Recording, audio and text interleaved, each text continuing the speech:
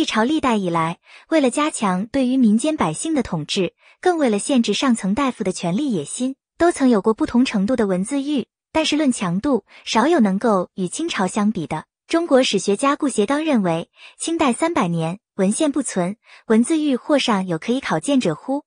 曰：有之。然其严酷莫甚于清初。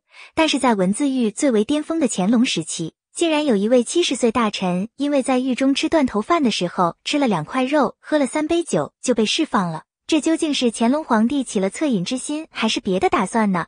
大家好，欢迎订阅本宫八历史。这位七十岁的大臣便是尹家权。尹家权，直隶博野，今属河北人。一七一一年出生在一个书香门第。他的父亲尹惠一是河北很有名望的大儒，著书五十多部。不光如此，父亲还是雍正年间的部级官员，担任过礼部侍郎。常言道：“龙生龙，凤生凤，老鼠生来会打洞。”说的是基因很重要。抛开血统论不说。环境对人的影响很大。尹家权一生下来就泡在书堆里，文着墨香，整天接触的都是成功人士，想不成才都难。年仅二十五岁的尹家权参加了科举考试，果然不负众望，中了举人。中举之后，只是有了进京参加会试的资格，并不意味着能够直接做官。比如曾国藩二十三岁的时候考中了举人，但是在会试的时候名落孙山，只要乖乖回家。四年之后，他再次参加会试，这才成为进士，被选为翰林院庶吉士，开始自己的政治生涯。而尹家权是官二代，父亲还是京城大官，靠着老子的人脉，他被安排到了刑部，担任刑部主事，后升为郎中，官至大理寺正卿，这是个正三品的官，相当于最高法院的副院长。再后来，他还担任过稽查觉罗学皇家子弟学校主管。任职期间，向乾隆皇帝提出过建议，让其及子弟读朱熹小学。该书的内容主要是教人懂礼仪、修身养性、修身齐家治国平天下。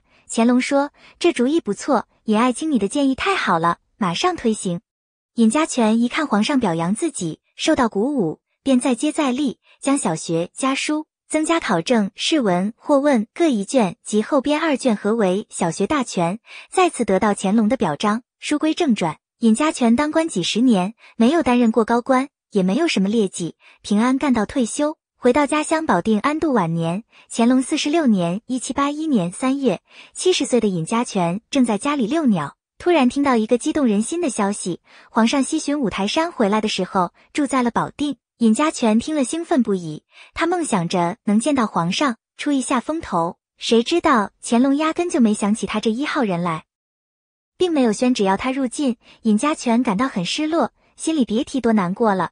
吃山珍海味也跟嚼蜡一样，索然无味。不行，我得想个办法见到皇上。他想来想去，想到拿老爹尹惠一做文章。尹家权官职不高，可是他老爸尹惠一厉害，除了做礼部侍郎。还做过都御史、检察院检察长。更重要的是，他在任的时候出过不少金点子，比如救助灾民、减轻税负等，为巩固清朝统治做出了贡献。不光如此，尹惠一退休之后还大做善事，设一仓、置一田、兴一学，就是免费穷人粮食，免费让穷人种地，穷人的孩子上学不要学费。总之，尹家权认为自己的老父德高望重，为朝廷做出了不小贡献。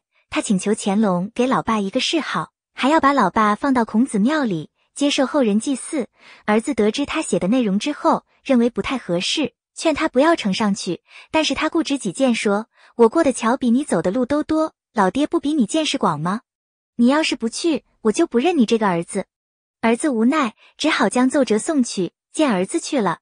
尹家权在家里一边遛鸟，一边哼起了小曲。等待好消息到来，谁知道乾隆帝看到他儿子替他送上来的奏本，气得额头青筋暴跳，拿奏本的手微微颤抖，提笔在上面写了九个大字：“敬大肆狂吠，不可恕矣。”翻译过来就是：这老家伙得了狂犬病，我根本无法容忍。乾隆是一族皇帝，为了让汉民接受，他一直以文人自称，为了显示自己的才学，一生写了几万首诗词。此时的批语中竟然用了粗话。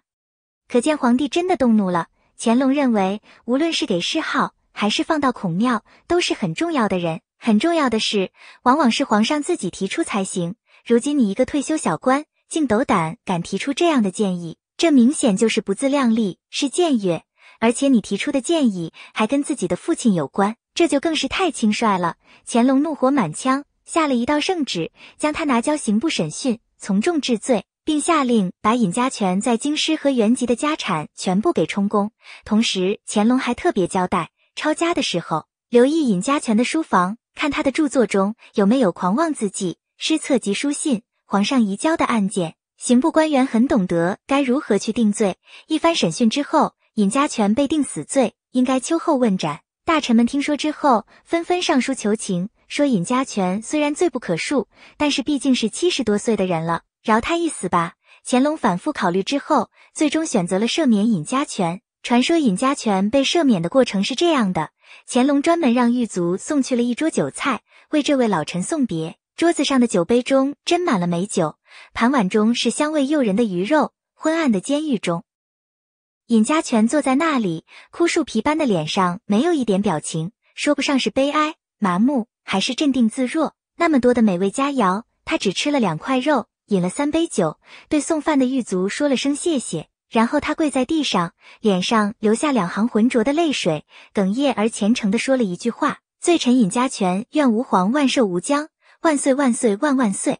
然后他站起身，走出监牢，走向停留在那里的囚车。慢着！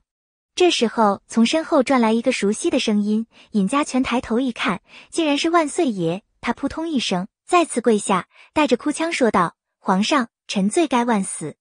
爱卿，你年事已高，大脑糊涂，朕根本没有跟你认真，说斩首是逗你玩的。”原来狱卒送饭进去之后，乾隆一直在暗中观察。看到尹家全死到临头，不但没有一点怨言，还对自己如此忠心，他的心被触动了。是啊，尹家权在奏折中也没有说什么大逆不道的谏言，为父亲博得谥号也是他孝心的表现。从个人立场出发无可厚非，狂妄是狂妄了点，可是毕竟一大把年纪了，也活不了几天。如果将他斩首，那将会冷了天下士大夫的心。爱新觉罗家族才多少人，能坐稳江山？不全靠这些汉族士大夫死心塌地的效力吗？于是乾隆皇帝表现出了恻隐之心，又正式下了一道谕令，将尹家全赦免。这个消息很快传遍京城，传向四面八方，大家无不夸赞乾隆爷宽容圣明。遇到这样的明主是老百姓的福分，他们纷纷表示要为对大清做出自己的贡献。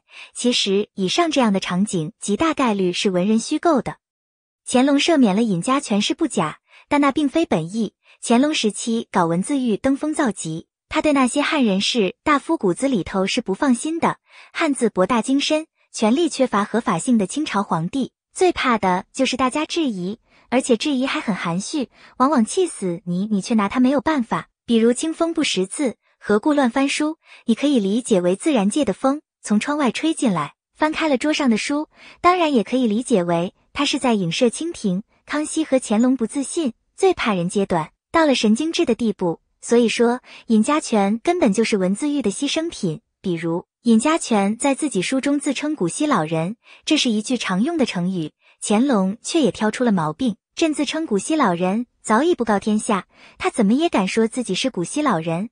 文字狱造成了这样一种生态，那就是文化人都变成应声虫，谁也不敢说真话，唯恐犯禁，掉了脑袋。久而久之，江山成了皇上一个人、一个家族的。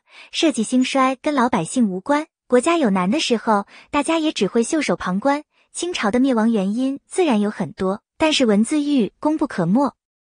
到最后，尹家权的生死其实对于乾隆来说已经不重要了。借这次事件，他已经完全把尹家权道学先生的身份彻底打碎，给了天下道学学子一记响亮的耳光。目的已经达到了，最后放掉尹家权，反而又给了乾隆一个人君的名声。虽然没有被处死，但是身败名裂的尹家权于次年就郁郁而终了。或许他在康熙年间，或是嘉庆年间还可以名成身退，但是他遇到了乾隆，变成了一个悲剧，又有一些滑稽的人物形象留在了史书上。不得不说，可悲可叹。